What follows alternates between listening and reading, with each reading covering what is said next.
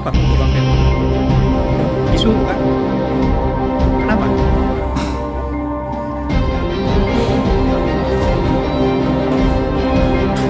Ini berawal dari para tersangka ini mengkonsumsi minuman keras. Korban korban adalah orang yang sudah dengan umur yang 65 tahun. Uh, korban dipukul oleh para tersangka yang uh, mengkonsumsi minuman keras.